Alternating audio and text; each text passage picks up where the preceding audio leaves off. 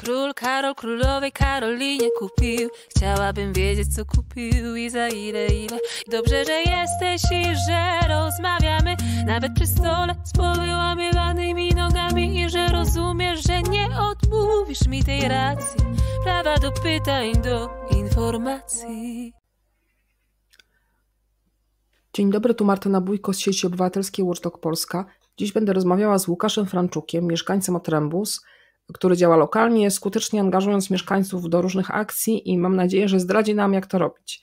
E, dodam jeszcze, że Łukasz jest absolwentem naszej Szkoły Inicjatyw Strażniczych, a także współzałożycielem małej wspólnoty Stowarzyszenia Dziedzictwa Kulturowego i Krajobrazowego.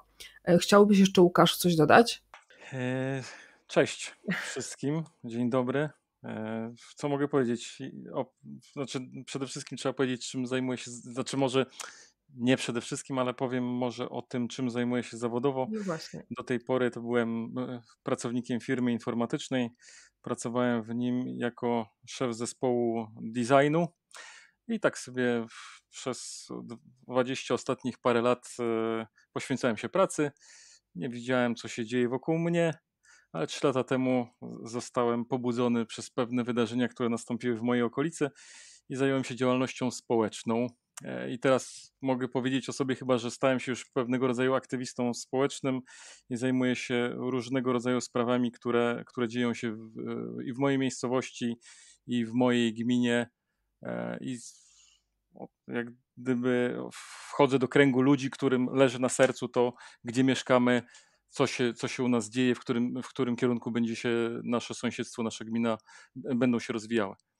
No właśnie, tak jak ja y, zajawiłam na początku, e, mimo że zacząłeś zajmować się tematem, e, który był dosyć trudny, ponieważ jakby twój protest i okolicznych mieszkańców wzbudziła budowa Lidla na, na twojej ulicy, która jest ulicą w zasadzie w przeważającej większości jednak jest tam zabudowa jednorodzinna i nagle między tymi domami w czasie pandemii zaczął powstawać Lidl. E, ty zacząłeś przeciwko temu protestować, zbierać informacje, protestować, też gromadziłeś wokół siebie mieszkańców, e, jakby też z tej ulicy, z pobliża. Natomiast e, jakby to jest o tyle trudny temat, że zwykle tego typu inwestycje budzą sprzeciw no, takich bezpośrednich sąsiadów takich inwestycji.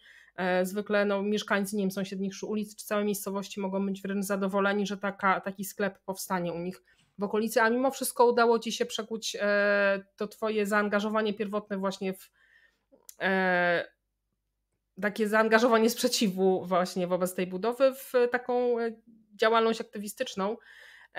Jakbyś mógł powiedzieć na początku w ogóle o tej historii z Lidlem, bo Lidl powstał, mhm. widziałam go, byłam tam.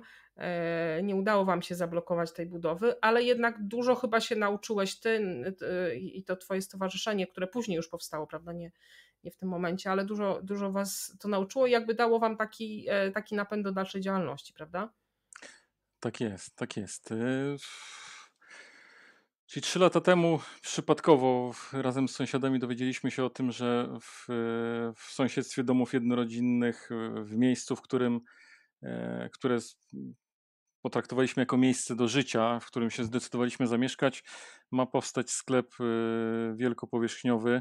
E, już chyba wtedy było wiadomo, że to będzie Lidl.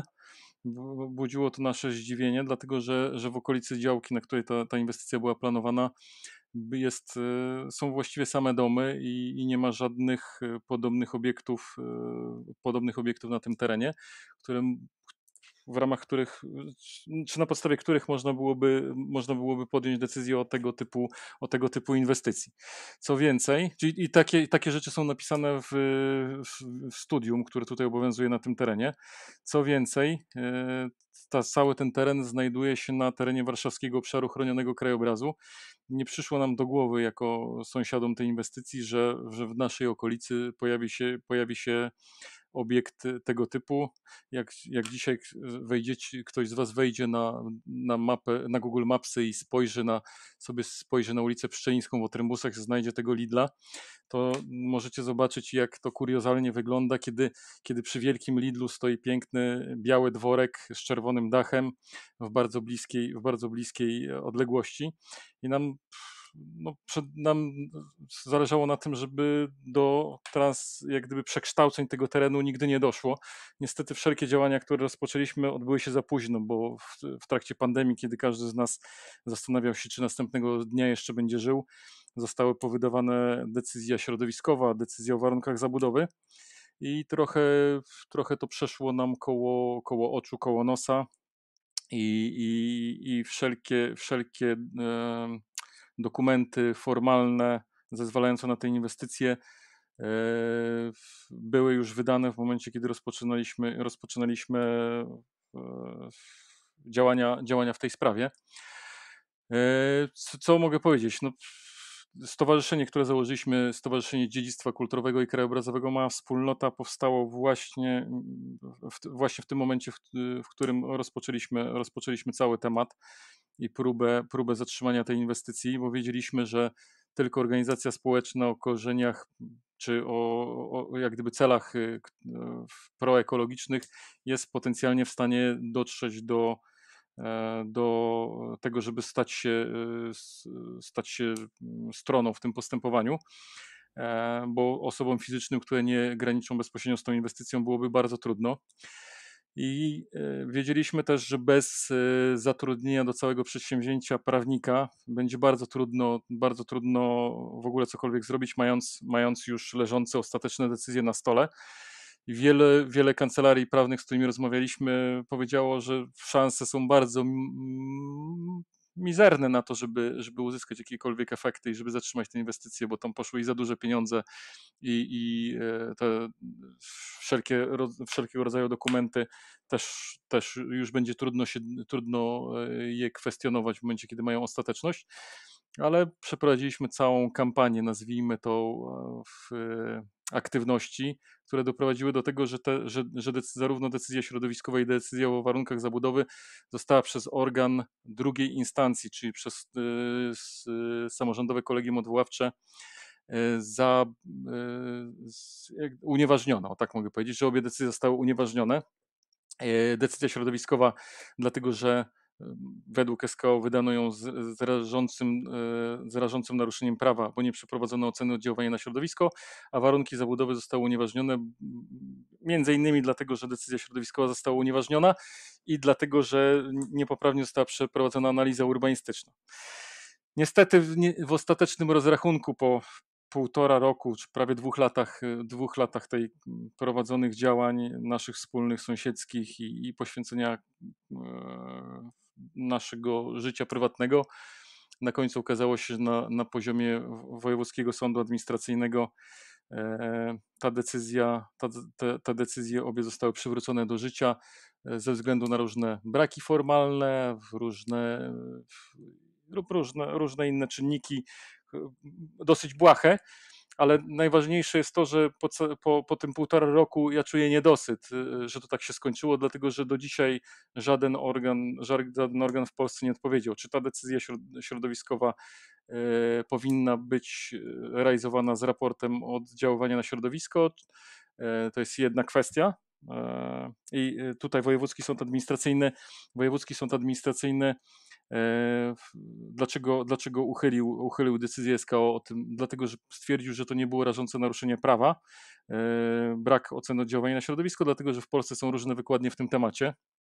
E, I, no i, i, tak, to, tak zakończył ten temat, a jeżeli chodzi o warunki zabudowy, to w związku z tym, że to było, że to było w trybie wznowieniowym wszystko przygotowywane, to, to Wojewódzki Sąd Administracyjny cofnął to postępowanie do, do burmistrza gminy Brwinów i poprosił o przeprowadzenie dochodzenia, czy e, to wznowienie odbyło się w odpowiednim trybie, e, czy osoba, która o to zawnioskowała, zrobiła to, zrobiła, zgłosiła wniosek o wznowienie postępowania w ciągu 30 dni od momentu, w którym się dowiedziała i tak dalej, i tak dalej.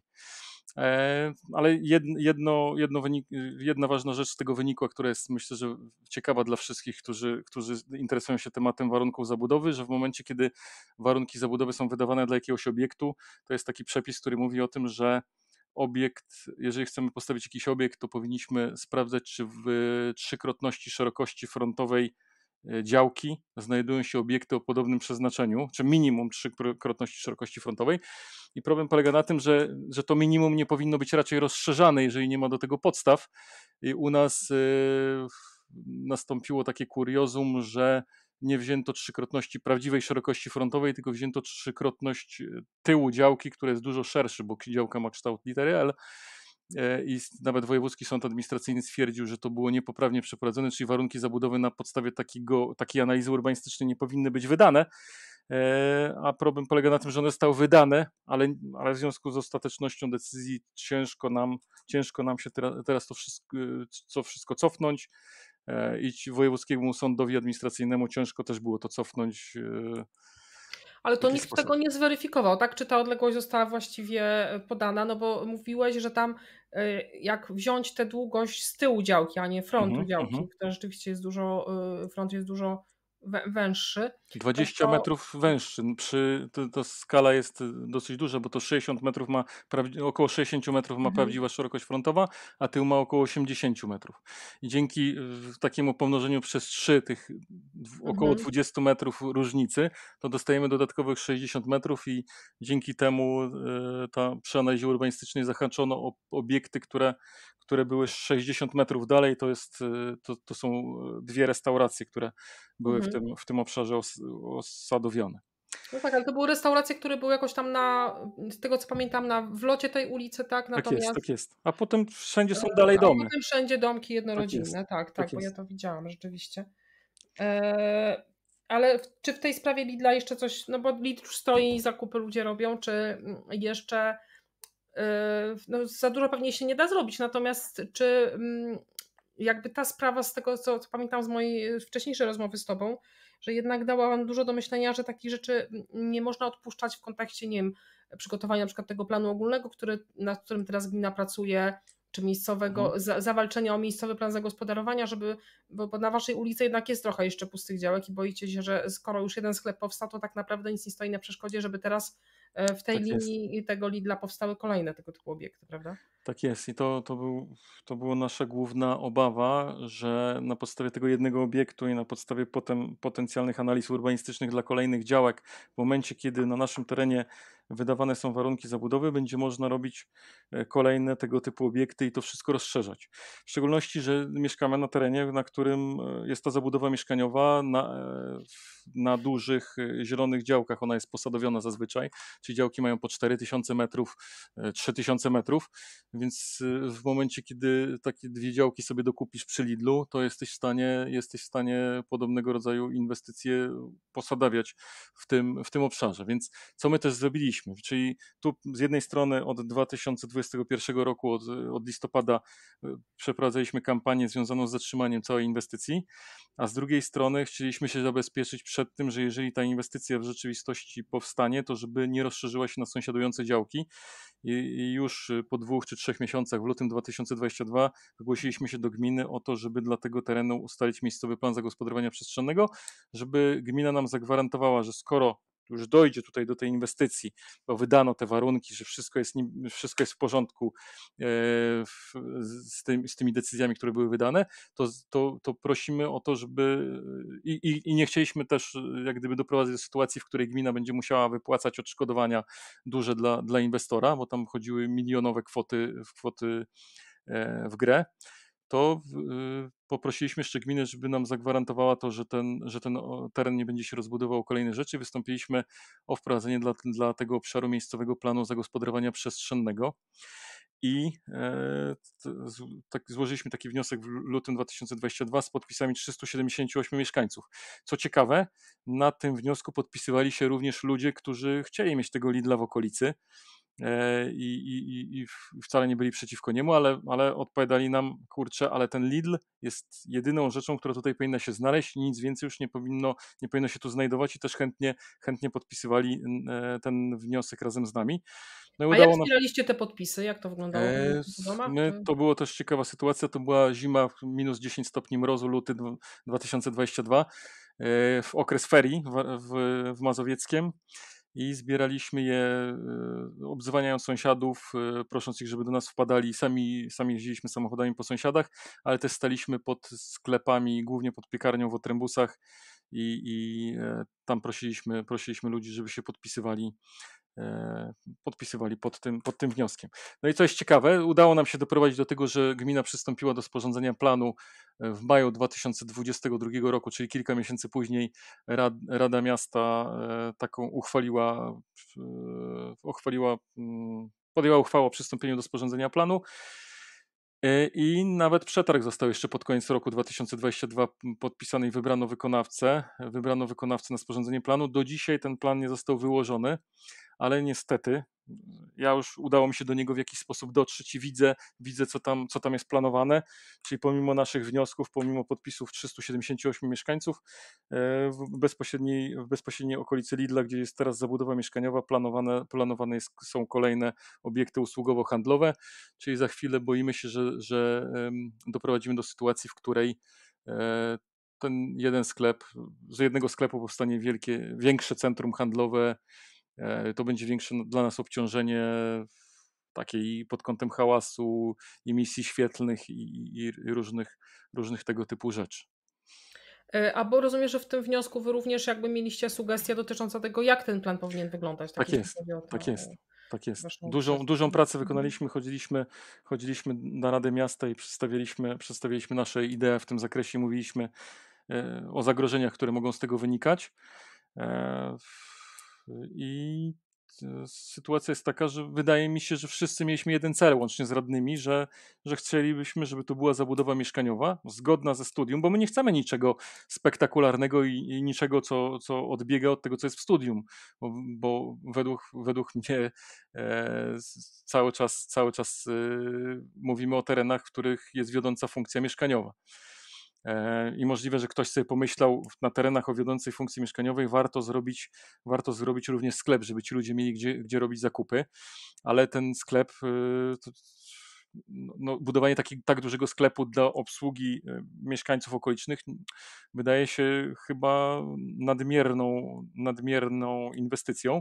Wystarczyłoby tu sklep y, pokroju pani Krysi czy, czy Żabka, żeby obsłużyć, obsłużyć tutaj e, sąsiad, sąsiad, sąsiedztwo.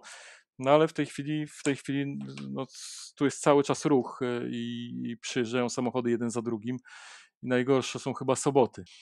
No, wiesz co, ja teraz chciałabym przejść do inne, trochę innego tematu, mhm. który jakby pokaże no też, że wasze stowarzyszenie działa w różnych obszarach, nie tylko e, walczycie o to, żeby ten plan zagospodarowania, żeby w ogóle był i żeby ta zabudowa nie była przypadkowa, chaotyczna i taka, która będzie no, pogarszała jakość życia mieszkańców, ale też macie na swoim koncie akcję, dzięki której e, mieszkańcy, no w zasadzie mieszkańcy gminy, bo nie tylko Trempus, ale też e, i Żółwina, jeśli dobrze pamiętam, ale zapewne też mieszkańcy mhm. innych miejscowości się włączali, uratowaliście 4000 żab w czasie tej wiosennej wędrówki żab e, na, na no, podmokłe tereny Jakbyś mógł powiedzieć o, o, więcej o tej akcji, no bo ona bardzo dobrze pokazuje właśnie, jak udało Wam się zaangażować e, mieszkańców wokół tej, tej idei i e, jak, jak współpracowaliście właśnie.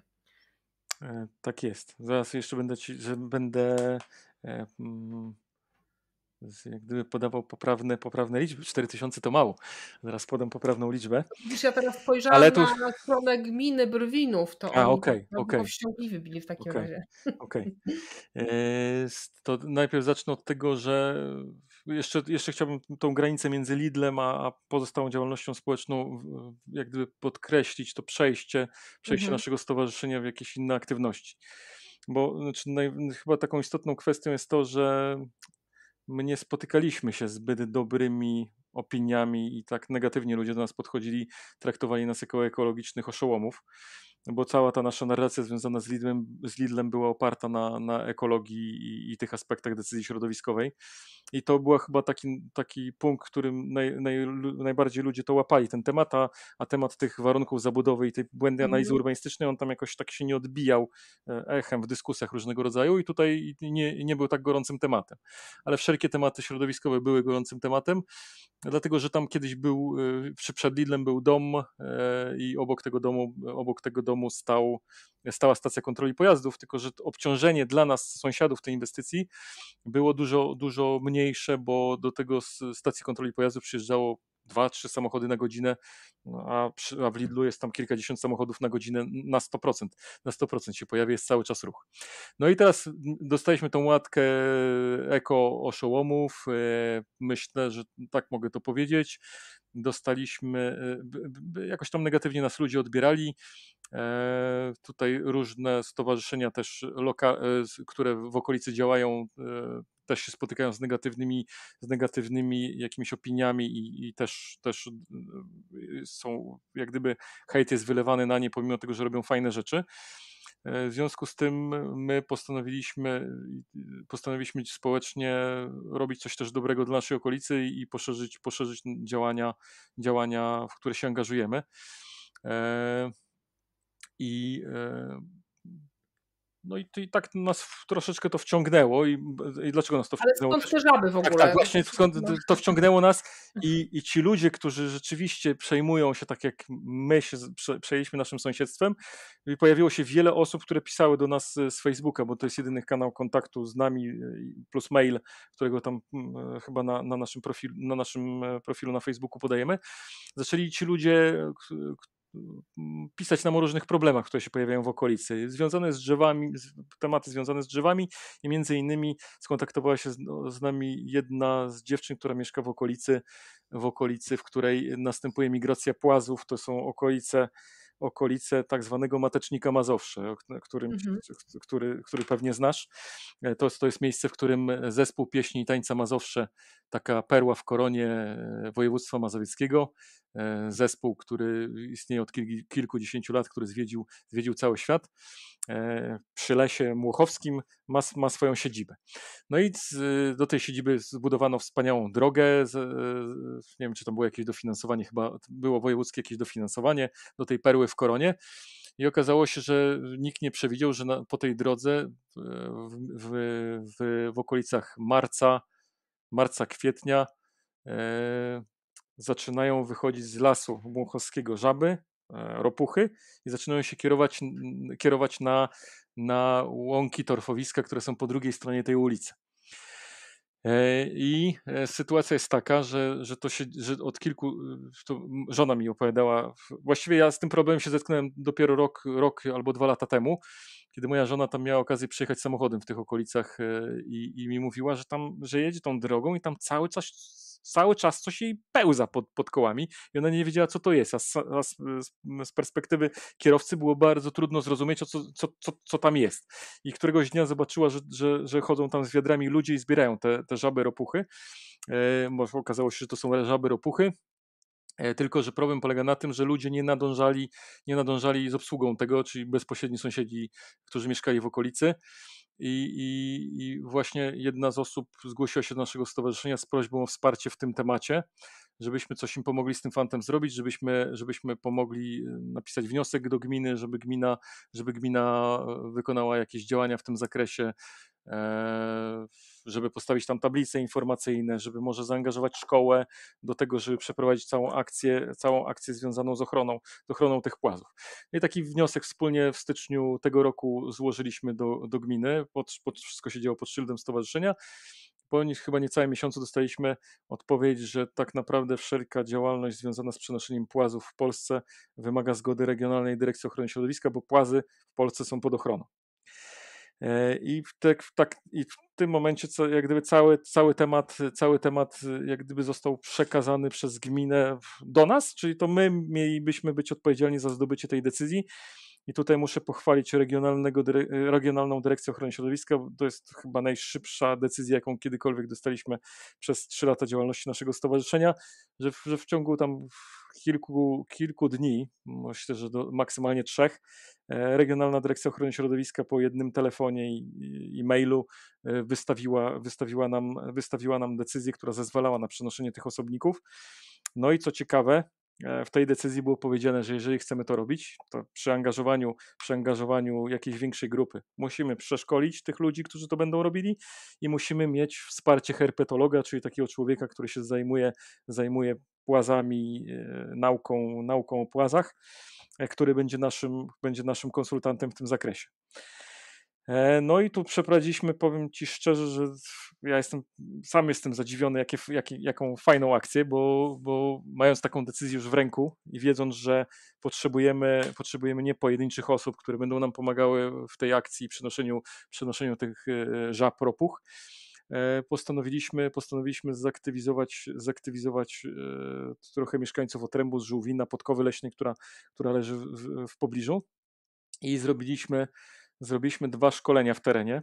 E, dwa szkolenia w terenie, które były oparte na, na wymogach tej decyzji, e, na których pojawiło nam się w sumie około, chyba z tego co pamiętam na Facebooku pisaliśmy około 70 osób, gdzie przychodziły całe rodziny z dziećmi, które zainteresowały, zainteresował ten temat. Rodzice chcieli pokazać dzieciom, że można zrobić coś dobrego.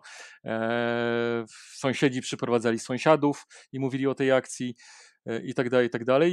I, i, i to było bardzo fajne przedsięwzięcie, bo udało nam się na całą akcję, e, w związku z tym, że trzeba było tych ludzi przeszkolić, pokazać im jakąś prezentację, jak te żaby no, należy podnosić, jak rozpoznawać ko, e, konkretne gatunki, gatunki żab, ropuch i tak dalej, i tak bo zaraz powiem, do czego to było nam potrzebne, to wypożyczyliśmy kampera z, od wy, z zaprzyjaźnionej wypożyczalni kamperów i na, staliśmy w lesie o godzinie tam 19 z, tą, z tymi grupami ludzi e, pod lasem łuchowskim, bez dostępu do prądu i na ścianie kampera, dzięki zasilaniu z kampera, wyświetlaliśmy z rzutnika prezentację, na której, na której e, była cała, cała edukacja w zakresie tego, jak, te, jak, jak e, poprawnie chwytać, chwytać płaza, e, jak raportować to, co robimy, jak się ubrać, żeby było bezpiecznie na drodze, bo jednak chodzimy w ciemności tak po, po ulicy, tak żeby, tak żeby nie było żadnych potrąceń samochodów, czyli latarki na głowach, czołówki, E, kamizelki e,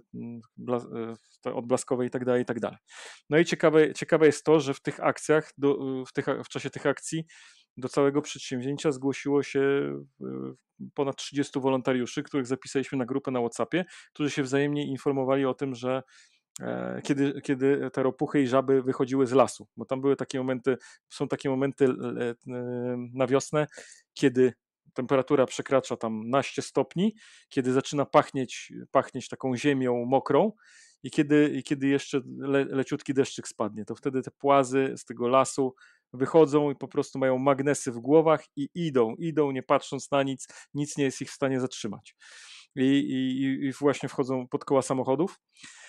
E, no i, i, i teraz dzięki temu informowaniu, dzięki tej całej e, czy takim, takiej akcji wzajemnego, wzajemnego wsparcia i informowania się na tej grupie WhatsAppowej, udało nam się, udało nam się w ciągu kilkunastu dni takiego nasilenia tej migracji płazów w tym roku przenieść sprostowanie tych 4000, 4, ponad 4800 osobników, z czego jeden dzień był bardzo ciekawy. To, to jest myślę, że do nie, nie do uwierzenia dla nikogo.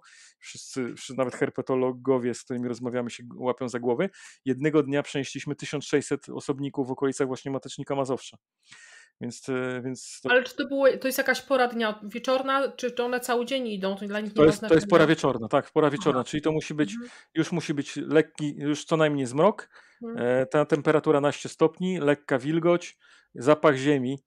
I to mhm. mieliśmy fajną dziewczynę, która szkoliła, szkoliła nas e, z tematu tego właśnie, jak rozpoznawać ten moment, kiedy te żaby wyjdą, że opowiadała, jak to na własnej skórze rozpoznawać, że wystarczy podciągnąć sobie rękaw do łokcia i zobaczyć, czy jakby masz rękę na powietrzu wystawioną, to czy, to czy jest taki przyjemne ciepełko w tą rękę, czy, taki, czy, czy odczuwa się taki lekki chłodek. Jak mhm. ciepełko, to jest właśnie ten moment, kiedy te, te, mhm. te osobniki mogą, mogą wychodzić. A jeszcze powiedz mi, jak, jak wy e, tych ludzi skrzyknęliście właśnie przez, wykorzystując e, ten wasz fanpage na Facebooku? Tak, tak, tak. Przez Facebooka, tylko, tylko mhm. nie przez nasz fanpage, bo tam w, w okolicach realizacji tej akcji mieliśmy stu kilkudziesięciu obserwatorów naszego stowarzyszenia. E, a więc robiliśmy to na grupach, na wszelkiego rodzaju grupach sąsiedzkich. Otrębusy, forum mieszkańców, grupa Otrębusy, E, Podkowa Leśna, Żółwin, Kanie i tak dalej, i tak dalej. I Brwinów, a, Brwinów wspólne sprawy. I promowaliśmy to wydarzenie mm, w jakiś sposób, pisząc, pisząc o całej akcji, i zachęcając do tego, plus taka, myślę, że taka przekazywanie człowiek do człowieka było, było tej informacji, czyli tak jak powiedziałem, sąsiad sąsiadowi o tym mówił, zaciekawiał. I ludzie myślę, że przyszli z czystej ciekawości, że coś się, coś się tutaj dzieje, coś ktoś robi, jest jakaś, jakaś ciekawa inicjatywa, e, w którą warto przyjść i zobaczyć. I, no i tu moim celem było to, żeby jak ktoś przyjdzie na tą inicjatywę, to żeby, żeby czuł, że to jest fajne. I, i, i, i ta, akcja, ta akcja miała na celu i, i, i naprawdę i, i dorośli, i dzieci odchodzili, odchodzili bardzo zadowoleni. E, to widać no, na filmikach, które są na naszym fan, fanpage'u umieszczone bo i to miało, miało znamiona właśnie takiej edukacji, ciekawe, ciekawe opowieści od tej, tej naszej e, współpracującej e, koleżanki, e, która, która, która edukowała, jak, jak to robić, na co zwracać uwagę, jak, jak, poprawnie, jak poprawnie chwycić tą żabę, jak rozpoznać samca od samicy i tak dalej, i tak dalej. To wszystko, wszystko było fajne, plus dzieci jeszcze były wyposażone w bardzo fajne naklejki E, które udało nam się wyczaić na, na Allegro. E, takie już właściwie każda naklejka była inna i takie humorystyczne. No, dzieci, dzieci, dzieciom się to bardzo podobało. E, no i tak to chyba to było wygląda. tak, że, że, każdy był wyposażony w wiadro, tak wkładał do wiadra te żaby i jak miał już tam wiaderko wypełnione, to szedł na pola. Tak jest. I tam je wyjmował, tak po prostu. Tak i, jest. Każdy musiał mieć przede wszystkim rękawice, które mhm. bezproszkowe, bez żadnej chemii, e, takie, mhm. żeby jak chwyci, tą, chwyci tego płaza, to żeby nie dostał płaz żadnej choroby skórnej, grzybicy i tak dalej, i tak mhm. dalej. To jest jedna rzecz. Druga, musiało być wiaderko zgodnie z wymogami RDOŚ-u, mhm. musiało być wiaderko, które e, powinno mieć na dole, szczółka powinna być wyłożona, no i też nie, nie można było tych, tych żab ropuch tam na, wkładać całymi kilogramami, tylko po zebraniu kilku osobników e, z, z jezdni, z chodnika, gdzie widać ewidentnie, że one przez chodnik za chwilę będą wchodziły na jezdnię, przenosiło się je to na, na wyznaczone punkty. Też mieliśmy wyznaczone e, e, punkty, które musieliśmy zadeklarować Ordosiowi, gdzie, gdzie będziemy te żaby e, ropuchy wykładać, e, tak żeby one mogły dalej migrować. To jest tak, tak taka, taka ciekawostka. I teraz co, jakie, jakie jeszcze mamy wnioski po tym? Że, że to zaangażowanie ludzkie było bardzo duże, y, związane z tym, że jednak, żeby, żeby te. Y, bo, a ruch na tej ulicy jest spory. Ja byłem zdziwiony, że aż tam taki duży jest ruch, bo ludzie traktują ten, te, te drogi przy Mateczniku Mazowszy jako, jako taki skrót do Podkowy Leśnej. I problem, problem jest taki, że to rzeczywiście trzeba było w dosyć dużym tempie te, te osobniki przenosić, yy, angażować się na, nawet na parę godzin E, każdego wieczoru. Są tacy, są tacy e, wolontariusze, którzy nawet do pierwszej, drugiej w nocy potrafili, potrafili e, zbierać, a następnego dnia iść do pracy. I problem polega na tym, że to jest, no, jest to duże obciążenie dla, dla, dla nas wszystkich, jeżeli pracujemy równolegle. W związku z tym nasz, nasz kolejny cel to jest doprowadzenie do jakichś rozwiązań systemowych większych a większe rozwiązania systemowe to są tak zwane płotki herpetologiczne, czyli to są takie zabezpieczenia postawione wzdłuż granicy drogi na, pomiędzy lasem a drogą czy chodnikiem e, w postaci, nazwijmy to, takich e, agrowłóknin rozciągniętych na, to najprostsza, najprostsza, najprostsza postać, to jest siatki albo agrowłókniny rozciągnięte na słupkach, na wysokość 50 cm, tak żeby te e, żaby, ropuchy dochodziły do tego miejsca, i nie były w stanie wtargnąć na drogę. Ale to jakby nie macie, nie miałeś takiego pomysłu, żeby po prostu e, jakiś, no nie zwrócić się z gminy, do gminy z takim wnioskiem, żeby gmina po prostu ten temat, tym tematem się zajęła i skoro jest taka potrzeba na terenie, no, pro... E, taki problem na terenie gminy, no bo to co robiliście w tym roku, no to było takie trochę działanie interwencyjne, tak które było konieczne tu i teraz, no bo nic innego się nie dało zrobić, natomiast rzeczywiście lepiej to rozwiązać systemowo, tak żeby, e, żeby to nie było tak, że mieszkańcy muszą E, mieć takie pospolite ruszenie. Tak, no niestety e, pro, znaczy może nie wiem, czy problem. No, sytuacja jest taka, że ja po tym wniosku napisałem, po tym wniosku do, e, pierwszym, o którym dostałem informację z gminy, że powinniśmy się zgłosić do RDOŚ, bo przenoszenie płazów, e, czyli osobników pod ochroną wymaga, wymaga zgody tej dyrekcji ochrony środowiska. E, pisałem po tym, że mamy taką zgodę, że prosimy o spotkanie z, z, z, z urzędnikami gminy. ale do tej pory do tego spotkania nie doszło. Jedyna, i, i potem, jak już mieliśmy jakieś efekty konkretne, kiedy widziałem liczby i byłem w stanie pokazywać te liczby, to sytuacja jest taka, że też pisałem i do dzisiaj, do dzisiaj do takiego spotkania nie doszło. Co ciekawe, jak już opublikowaliśmy raport z całej akcji, gdzie pokazywaliśmy efekty naszej pracy półtora miesięcznej, E, bo to raport, do którego byliśmy zobowiązani przez RDOŚ, został, e, został również opublikowany na Facebooku, gdzie mieliśmy pokazane nawet rozkłady, czyli liczby, mieliśmy pokazane ile osobników w sumie zebraliśmy, mieliśmy pokazane na wykresach rozkłady czasowe, kiedy to nasilenie było w, w poszczególnych dniach i tak dalej, i tak dalej. A, a skąd to się wzięło? Bo to też miałem powiedzieć o tym raportowaniu. Wzięło się to stąd, że wolontariusze z wielką chęcią uzupełniali e, formularz e, przygotowany przeze mnie na Google Formsach, gdzie oznaczali w jakiej okolicy zbierają, o jakiej porze, czy rano, czy wieczór e, i jakie, jakie, osobniki, jakie osobniki udało mi się zebrać. I właśnie po to było też przeszkolenie, jak rozpoznać osobnika ropuchę od, od żaby, trawiastej itd. Tak itd. Tak i, e, i ludzie z chęcią po każdej akcji wypełniali to. Dlaczego mhm. z chęcią to wypełniali? Bo to taki był, powiedzmy, że element grywalizacji, który się tutaj mhm. zrodził w jakiś sposób. Może, może nie, nie do końca świadomy, ale, ale myślę, że to tak wpływa też na człowieka, że jest zmobilizowany bardziej w momencie, kiedy, kiedy rywalizuje z kimś tam, że, że chce mu się bardziej. I ludzie rzeczywiście chętnie uzupełniali te formularze po, każdy, po, każdym, po każdym wieczornym e, obchodzie i wypełniali, czy zebrali jednego osobnika, czy zero, to to wpisywali. ja w tej chwili jestem w stanie na podstawie wszystkiego, co nam się zebrało z tych Google Formsów w Excelach, powiedzieć, kto ile zebrał i kiedy zebrał, ile było e, osobników danego gatunku, który był dzień najbardziej nasilony i tak dalej, i tak dalej.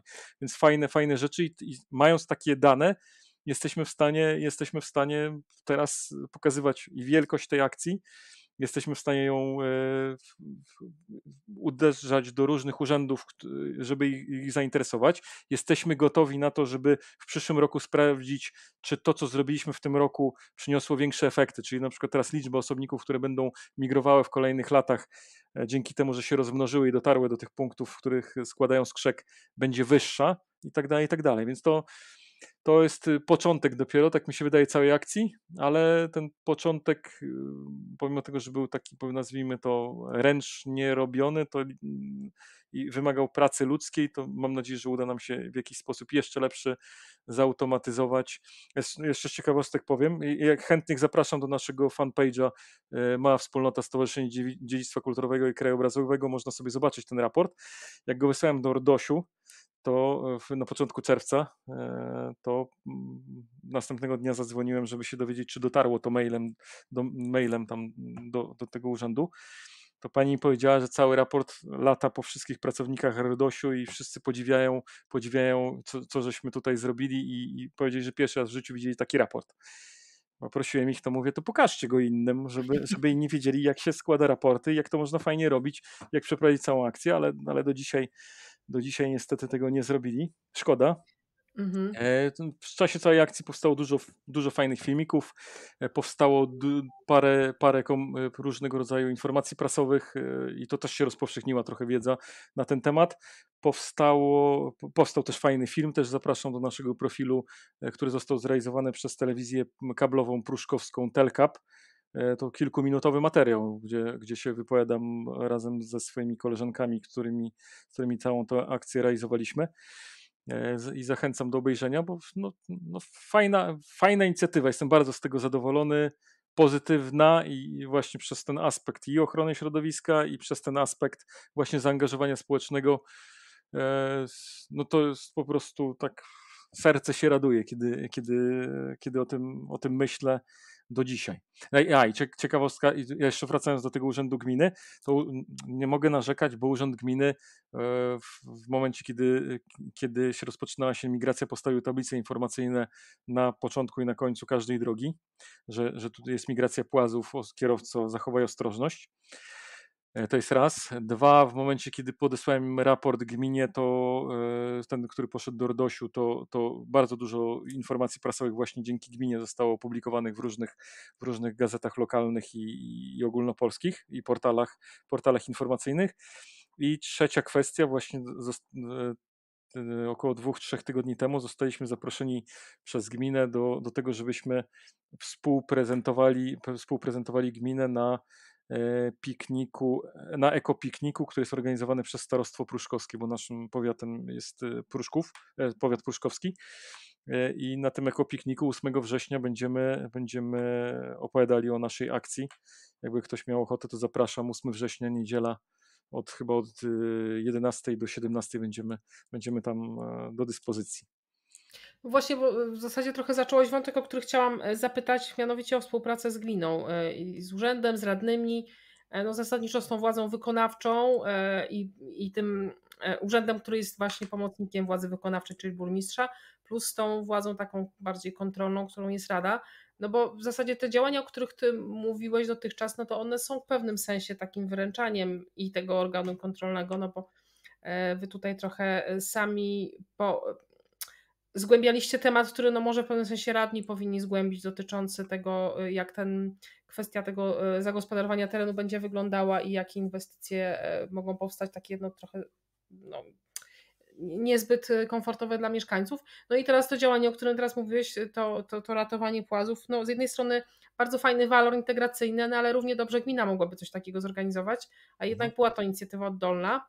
E, czy są w ogóle jakieś e, Właśnie, czy, czy, czy w, są jakieś, jakieś takie pola, w których współpracujecie z gminą, e, czy, czy jakoś staracie się e, też no, dzielić tą swoją wiedzą z, z radnymi, z, z urzędem?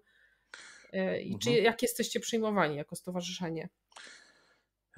To powiem tak. Zakładając stowarzyszenie, stanęliśmy przed dylematem, jaki ma być jego regulamin, jakie mamy cele mieć statutowe. Bo no, skorzystaliśmy, skorzystaliśmy z doświadczeń naszych kolegów, których można nazywać matkami i ojcami chrzestnymi naszego stowarzyszenia, którzy nam dali gotowce różnego typu i jakoś tam zbudowaliśmy ten regulamin. Ten regulamin w sobie zawierał różne, szerokie spektrum działań, którymi moglibyśmy się zajmować. E, to mogę, mogę parę wymienić. Czyli na przykład mieliśmy wpisane, wpisane w naszych celach statutowych propagowanie postaw obywatelskich prospołecznych, kontrolowanie władz samorządu terytorialnego z przestrzegania przepisów prawa, prowadzenie działań na rzecz ochrony przyrody, zabytków, zachowania unikalnego charakteru miast i wsi, a w szczególności miejscowości Otrębusy i gmina Brwinów. Inicjowanie i podejmowanie, wspieranie inicjatyw społecznych, obywatelskich, kulturalnych, edukacyjnych, gospodarczych, proekologicznych, prozdrowotnych itd., tak itd., tak podejmowanych na rzecz dobra publicznego i polepszenia warunków życia mieszkańców. I jak, jak zajmowaliśmy się Lidlem, no to bym pewnie jakiś tam wąski aspekt tych, tych, tych celów statutowych wypełnialiśmy ale w momencie, kiedy zaczęliśmy się angażować właśnie w jakieś inne przedsięwzięcia typu ochrona płazów, typu ochrona alei, których możliwe, że jeszcze, jeszcze dzisiaj wrócimy do rozmowy, e, e, to, to, to tylko znowu szło, szło to w kierunku takim przyrodniczym, czego, czego ja, ja chciałem to, tą, tą, jak gdyby te aspekty rozszerzyć. I, po, i pojawił się, pojawiła się też na to szansa, żebyśmy to rozszerzyli. Wybory samorządowe. To już byłem wtedy, już byłem wtedy po, po chyba jednym zjeździe albo dwóch, nie, po jednym zjeździe, nie, po dwóch zjazdach byliśmy już e, Szkoły Inicjatyw Strażniczych e, tegorocznej. I wtedy, wtedy ja sobie różne rzeczy w głowie, w głowie poukładałem i powiedziałem sobie, kurczę, ja mam taki sam problem, pewnie inaczej, wszyscy pewnie mieszkańcy gminy dowolnej mają taki sam problem jak ja, że kompletnie nie rozumieją, jak ten samorząd działa, do czego co służy, kto co robi, e, jakie są prawa i obowiązki. I pierwszą taką aktywnością, która była związana w, w, ogóle, w ogóle z takim przybliżeniem się do, tego, do, tego, do, tych, do tej Rady Miasta i jak gdyby władzy, było to, że, że dwa tygodnie przed wyborami samorządowymi przeprowadziłem pod szyldem stowarzyszenia Ma Wspólnota warsztat dla mieszkańców o roli radnego w gminie. I, i też no, dosyć szeroką kampanię tutaj przeprowadziłem, e, idąc troszeczkę o krok dalej, czyli pokazując się pierwszy raz, pierwszy raz na rolkach wideo, gdzie zapowiadałem ten warsztat i mówiłem, o czym będziemy mówili, na co położyć nacisk, albo jak przed jakimi dylematami staje zwykły mieszkaniec gminy. I dzięki temu takiemu promowaniu tego, tego, tego e, wydarzenia warsztatu 35 osób się stawiło, z tego kilku e, przyszłych radnych, którzy dzisiaj są właśnie w Radzie Miasta lub kandydatów na radnych, którzy niestety się nie dostali do Rady Miasta. E, I było to bardzo ciekawe, ciekawe Gdzie to, przedsięwzięcie. gdzie to zrobiliście? Gdzie to zrobiłeś? E, Zrobiłem to, zrobiłem to w świetlicy, w świetlicy w Otrębusach. Mamy tu fajną, Mhm. fajne, fajne miejsce, się nazywa Przychodnia Kulturalna, która Mhm. zresztą podlega, podlega pod, y, pod urząd gminy. Czy pod, pod inaczej, może pod dom, pod ośrodek kultury, który Mhm. podlega gminie. I tutaj też spotkałem się z pewnym takim, jak gdyby dozą, y, jak gdyby, jak to nazwać, takiej Ufności. nieufności, tak, że co ja tutaj Mhm. chcę zrobić, o czym ja będę mówił, więc musiałem to dosyć mocno, dosyć mocno uargumentować, yy, mówiąc, że będę robił fajne rzeczy i, i rzeczywiście chyba takie rzeczy były, że, bo, to, bo wszyscy się bali, że może ja będę atakował burmistrza, że będę mówił jakieś krytyczne rzeczy na temat, na temat Rady, a, a nie. A ja tam zrobiłem bardzo ciekawą rzecz, o której ty mu tutaj mówisz, o tej współpracy z radnymi. Ja przede wszystkim dzięki waszej Szkole Inicjatyw Strażniczych ja zrozumiałem, że z władzą nie należy walczyć, z władzą trzeba współpracować. Jakbyś mógł powiedzieć jeszcze mm, właśnie parę słów o, o, tej współpracy z Tak, z tak, właśnie tak, tak, teraz. tak chcę Mhm. przejść do tego. Eee, no to sytuacja jest taka, że, że nasza rada się na nowo ukonstytuowała w tym, teraz w tym, w tym okresie, bo to dopiero, dopiero zaczęliśmy myśleć o tej potencjalnej współpracy. Bo, bo jeżeli chodzi o samą gminę, to ja nie wiem dotychczas, jak ja tam jestem postrzegany. Ja chciałbym być pozytywnie postrzegany, ja chcę, ja chcę działać dobrze, ale możliwe, że przez różne rzeczy, które zadziały się w temacie Lidla, gdzie, e, gdzie ja wstawałem tutaj w, takiej totalnej opozycji i chciałem zatrzymać całą inwestycję razem ze swoimi sąsiadami, no to, no to nie wiem, jaką tam mam łatkę przypiętą, ale, ale mi zależy na tym, żeby, żeby o, na dobrostanie moim, moich sąsiadów i, i, i ich sąsiadów, tak? I to jest, to jest klub programu i chcę, żeby nam się tutaj żyło, żyło fajnie i żebyśmy, żebyśmy z chęcią wychodzili, wychodzili na do, nasze otoczenie i ze sobą się integrowali i tak dalej, i tak dalej.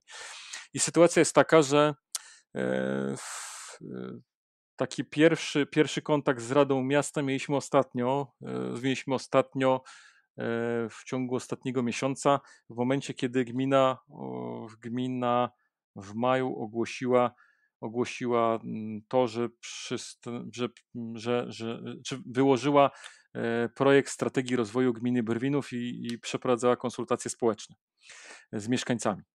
I, i, I my wiedzieliśmy, że wiedzieliśmy, że ta że ten, ten projekt strategii i tak ostatecznie będzie zatwierdzony przez radnych, więc y, tutaj, tutaj postanowiliśmy w jakiś sposób zaangażować radnych i porozmawiać z nimi na temat tego, tego projektu strategii.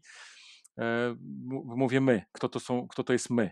Otóż okazało się, że, że nasi że członkowie naszego stowarzyszenia, członkowie różnych stowarzyszeń, organizacji społecznych działających tutaj na terenie y, gminy Brwinów, wszyscy się zainteresowaliśmy tym tematem i zajrzeliśmy do środka i troszeczkę oniemieliśmy tym, co zobaczyliśmy, że to był dokument, którego nie było wiadomo, jaka jest wizja rozwoju gminy, e, jak chcemy mierzyć to, jak ta gmina się będzie rozwijała i tak dalej, i tak dalej. To było bardzo, bardzo enigmatyczny dokument. Takie mieliśmy wrażenie, że powstał po to, żeby powstać, bo takie są wymogi prawne. E, Co, co zdziwiło nas, on powstał i e, na podstawie na podstawie różnych dokumentów urzędowych, na podstawie rozmów z urzędnikami, ale nie na podstawie, nie na podstawie zaangażowania społeczn, społecznego i partycypacji społecznej, gdzie zapytano ludzi o, te, o to, czego potrzebują i te, to, to dopiero się odbywało, kiedy gotowy projekt 50-parastronicowy został wyłożony i powiedziano, teraz możecie się, szanowni państwo, wypowiedzieć. No i, i tak się dziwnie czujesz wtedy, kiedy ktoś ci coś takiego wykłada, bo wiesz, że w momencie, kiedy zgłosisz jakieś uwagi, no to pytanie, czy to zostanie w ogóle uwzględnione, no bo tu mamy gotowy dokument, już właściwie, właściwie można by było go dawać pod głosowanie rady, e, a, a, a, a, a pyta cię ktoś o, o zdanie do tego, tak? Czyli ktoś pyta cię o zdanie gotowego tortu, który już upiekł, a, a nie zapytał cię, czy jakie ty torty lubisz i tak dalej, i tak dalej. No i sytuacja jest taka, że y, y, jak zob- zobaczyłem, że wiele organizacji ma, róż, ma opinie w tym temacie i chce się zaangażować w opiniowanie tego, tego, tej strategii rozwoju gminy, no to e, zorganizowaliśmy spotkanie. Tutaj byliśmy inicjatorem tego jako Stowarzyszenie Mała Wspólnota. Zorganizowaliśmy spotkanie z różnymi organizacjami społecznymi. Udało nam się w sumie zaangażować w to przedsięwzięcie dziewięć organizacji i przygotowaliśmy wspólne stanowisko i, i każda, z organizacji, czy każda z organizacji przygotowała swoją, swój zestaw uwag zgodny z jej zakresem działalności, zgodnie, zgodny z tym, e, co jest dla niej ważne, ale jednocześnie wyodrębniliśmy pewne punkty, które są wspólne dla nas wszystkich i, i e, wystąpiliśmy ze stanowiskiem do burmistrza gminy Brwinów i do, i do radnych miasta, gdzie wskazaliśmy krytyczne, krytyczne punkty związane, związane z tą strategią. E, i w ten sposób też i po wysłaniu takiego stanowiska poprosiliśmy radnych, żeby się z nami spotkali, żebyśmy ten temat, żebyśmy ten temat omówili. Dlaczego nie chcieliśmy angażować burmistrza? Bo to taki, bo niektórzy radni z jego ugrupowania zadali nam takie pytanie podczas spotkania razem z nimi. E, dlatego, że Wiemy, że ten dokument powstawał we współpracy z burmistrzem, a tu, tu chodziło o to, żeby ktoś spojrzał, spojrzał na to z zewnątrz świeżym spojrzeniem i, i dokonał oceny zewnętrznej tego materiału, który został wyłożony, żeby to bardziej obiektywne było spojrzenie, o tak bym powiedział. I, I, to, było, to było ciekawe też doświadczenie. Pierwsze spotkanie, dziewięć organizacji społecznych, e, dziesięciu chyba radnych na 21 z Rady pojawiło się na tym spotkaniu. Zaprosiliśmy, zaprosiliśmy wszystkich, pojawiło się 10 osób. E, po, po, mieliśmy ciekawą dosyć dyskusję w tym temacie. I naszym, naszym problemem jako organizacji społecznych e, jest to, że, że właśnie my, my mamy problem z tym, z wieloma brakami, które tam się pojawiły, z, z wieloma aspektami związanymi z tematami środowiskowymi. Mamy problem też z, z, brakiem takiej klarownej wizji wymienionej w punktach i, i jak patrzymy na przykład na, na taki, tego typu plany ogólne, chociażby w Twojej gminie chyba, tak? To jesteś Michałowice, to, mhm. to, to, to, to jest zupełnie inna postać. Tam otwierasz ten dokument i, i, na samym początku od razu wiesz, co my chcemy i dokąd, dokąd dążymy. Tutaj y, ja do, tego, do te, tego nie jestem w stanie wyczytać z tego, z tego dokumentu 59-stronicowego. Co ciekawe, nasza uwaga chyba wszystkich organizacji społecznych zgłoszona w tych formularzach, że brak klarownej wizji została oznaczona, bo już, bo już, bo już zostały te uwagi rozpatrzone po 30 dniach, pod końcu ubiegłego tygodnia to nastąpiło. Ta uwaga została oznaczona jako opinia subiektywna. Mhm. Więc... No może była zbyt ogólna. No, znaczy, no właśnie, ale my nic nie mamy więcej do powiedzenia, no bo tak, to, nie, to, tak. nie jest nasza, mhm. to nie jest nasza tak, tak. Rola, żeby dokonywać teraz, e, żeby dokonywać teraz esencji, wyciągać, wyciągać esencję z tego, co zostało wytworzone, tylko rola autorów i gminy, żeby, żeby ten, ten, ten obraz został, został przedstawiony. E, jakbyś mógł mi jeszcze powiedzieć o nim właśnie ten, poruszymy ten wątek o tym, jak, jak angażować, jakby tak podsumowując, o jeszcze jednym takim, jednej odnodze Twojej działalności, już Twojej e, indywidualnie, e, bo kandydowałeś w tym roku i stałeś się członkiem Rady Sołeckiej. Mhm. Jakbyś mógł powiedzieć, co tobą kierowało, dlaczego, czy jakby chcesz po prostu wzmocnić działanie swojego stowarzyszenia w ten sposób, że, że też będziesz działał w Radzie Sołeckiej, czy, czy, czy po prostu chcesz też swoje doświadczenia ze stowarzyszenia przenieść na, na, na pracę rady i tak wesprzeć e, sołtysa, sołtyskę, bo macie sołtyskę. Sołtyskę, tak, tak jest. Mhm. No to myślę, że raczej doświadczenia z, z, ze stowarzyszenia chcę przenieść do Rady Sołeckiej. E, pojawiło się w Radzie, w Radzie w tej chwili jest dosyć mocna grupa takich, e, nazwijmy to aktywistów, którzy, którzy są rzeczywiście zaangażowani i chcą robić fajne rzeczy, integrować lokalną społeczność i i to, to może, się, może coś z tego ciekawego e, wyniknąć. E, jesteśmy już po pierwszym, po, po, takim pierwszym, bo co chyba głównie, głównie nam będzie zależało w tej Radzie Sołeckiej, żeby, żeby integrować społeczność i angażować ją do działania. Czyli pewnego rodzaju akcje tutaj u nas są realizowane co roku, typu festyn imienia Stachowicza, który, który przygotowało właśnie sołectwo z budżetu sołeckiego E, sprzątanie świata i tak dalej, ale chcielibyśmy, e, chcielibyśmy te, nasilić te działania. E, chcielibyśmy wesprzeć naszą sołtyskę. Chcielibyśmy pomyśleć o tym, żeby zwiększyć finansowanie, które, które jest z budżetu sołeckiego. To są kwoty rzędu, na, na, na takie sołectwo jak my, to są kwoty rzędu 60 tysięcy złotych. Żeby zrobić fajne rzeczy dzisiaj, no to to nie są jakieś wielkie, no to nie są jakieś wielkie, wielkie kwoty. E, więc można też pomyśleć o jakimś zdobywaniu środków z zewnątrz, czy, czy, czy od starostwa, czy z budżetów obywatelskich i to i, i, i, jak gdyby łączyć działania pewne, które są realizowane w ramach Rady Sołeckiej i sołectwa z, właśnie z działaniami, z, z działaniami organizacji społecznych, to mi się, to mi się marzy. E, I, i integracja z, z, z miejscowościami, oś, które sąsiadują z nami, e, czyli na przykład tutaj Kanie, gdzie, gdzie mamy wspólne wspólne. Ale Kania to też są jeszcze wasza gmina. To jest, jest nasza tak? gmina, ale mhm. sołectwo Kanie. Mhm. I sytuacja jest taka, że, że mhm. mamy dzieci we wspólnych szkołach, wspól, wspólny ośrodek zdrowia, wspólna poczta i tak dalej, i tak dalej, ale jak gdyby jakoś tak jest, jesteśmy od siebie odsunięci i wiem, i, i, znaczy nie wiem, jest tam po prostu grupa aktywnych osób, które, które, które poznałem podczas działalności społecznej, e, które robią też fajne rzeczy i uważam, że, że z tego może być duża, duża moc. Trochę już mówiłeś o tym, jak e, angażować mieszkańców, jak skutecznie to robić, ale może tak jakbyśmy teraz podsumowali trochę ten wątek e, i, i chciałabym, e, byś no po prostu doradził tym, którzy działają lokalnie i chcieliby właśnie zaangażować sąsiadów w jakąś akcję, jak to skutecznie zrobić. I też taki drugi, drugi jakby wątek, mm, jak działając watchdogowo, kontrolnie, nie zniechęcić do siebie innych mieszkańców, bo często osobom kontrolującym władzę przypina się łatkę pieniacza, który szuka e, dziury w całym. Czy udało Wam się tego uniknąć? Tak jest. Zacznę od pierwszego wątku, bo, zastanawiałem się nad tym e, ostatnio, ostatnio właśnie, czy jak, jak, jak zaangażować, zaangażować ludzi w różnego rodzaju działania. I, i sytuacja jest taka, że chyba jest jeden, jeden wniosek, który tutaj musimy podać, to jest to, że ludzie się angażują wtedy, kiedy widzą jakieś zagrożenie, które pojawia się w ich otoczeniu. Czyli ja jestem tego przykładem, tak? Czyli do tej pory siedziałem jako ten e, projektant w firmie informatycznej, pracowałem, poświęcałem się pracy, a w momencie, kiedy pojawił się Lidl w moim otoczeniu i to, że ktoś chce przekształcić sąsiedztwo, nasze sąsiedztwo wspólne, to, to doprowadziło to do pewnej integracji, integracji z sąsiadami. I teraz widzę kolejne poruszenie tutaj u nas w Otrębusach, że jest temat, e, temat amfiteatru, e, który ma powstać w Otrębusach e, i, i tu też nagle powstaje wielka grupa osób i na spotkanie dotyczące amfiteatru czy, czy okolic Matecznika i, i przekształceń, które tam mają nastąpić, to angażuje się kilkadziesiąt osób. I to jest, to jest najsilniejszy bodziec, który, który, który tutaj się może, który się tutaj, który gwarantuje, gwarantuje to, że masz to zaangażowanie społeczne. Jeżeli, mm, tylko że ten bodziec niestety wynika z tych, y, z, i, z tych pewnych negatywnych rzeczy, które mogą się pojawić, e, to jest, to, jest, to jest taki temat i zazwyczaj ten bodziec jest mm, jak gdyby jest takim momentem, kiedy jest już na, za późno na pewne rzeczy. Czyli tak jak w przypadku Lidla, my już mieliśmy ostateczność decyzji, amfiteatr jest tam dosyć zaawansowane są prace i, i też pytanie, czy to się uda zatrzymać.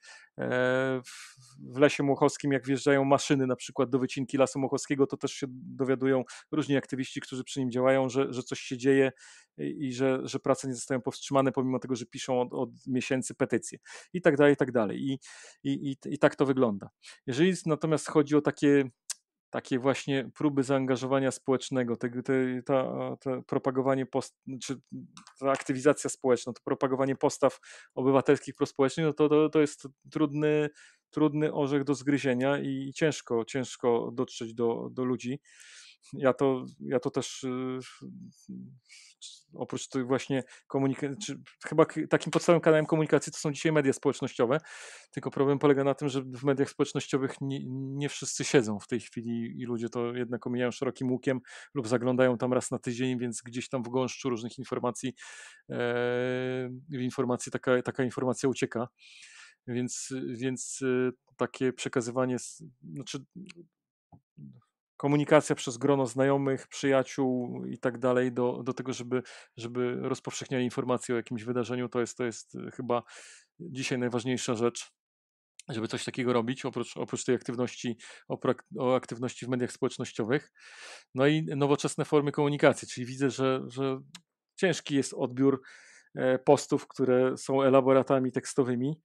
Jednak do, dzisiaj do ludzi przemawia obraz wideo, E, dlatego przy tych, przy, przy niektórych aktywnościach właśnie zdecydowałem się na takie krótkie rolki, i, I, możliwe, że to te rolki w ogóle doprowadziły do tego, że mamy, że mamy taką, mieliśmy taką wysoką frekwencję, czy w tematach żab robiłem też krótkie filmiki, które pokazywały, pokazywały tam e, te, te szkolenia, warsztaty, warsztaty z tym kamperem i tak dalej, i że ci ludzie e, widząc jedną akcję o trembusach, potem, potem Żółwinie stawia, stawiali się też w dosyć dużym gronie, e, żeby, żeby zobaczyć i samemu poznać, poznać ten temat.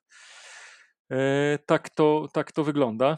E, I teraz jeszcze jedna ważna kwestia związana z tym, z tym że, że właśnie jak, jak rozpoczynamy jakąś działalność, e, jak, jak aktywizujemy się społecznie w momencie, kiedy coś złego się dzieje wokół nas, to są te emocje, które nami sterują. Ostatnio, ostatnio zrobiłem dosyć ciekawą prezentację. Znowu to dzięki Szkole Inicjatyw Strażniczych i dzięki temu, że poprzyglądałem się współuczestnikom tej szkoły i problemom i wyzwaniom, przed którymi oni stają. E, posłuchałem języka komunikacyjnego, y, który, który mają e, w rozmowach y, i opowiadaniu o tym, co, co się dzieje u nich w gminie, e, w mieście itd., tak itd., tak to, to zrozumiałem, że naszym największym wyzwaniem watchdogów i osób, które chcą działać społecznie są emocje które w nas buzują, są intensywne, które mogą wielokrotnie prowadzić do zaślepienia i mogą doprowadzić do, do, do tego, że ten cel, do którego chcielibyśmy się zbliżyć, oddali się od nas. Dlaczego się oddali? oddali?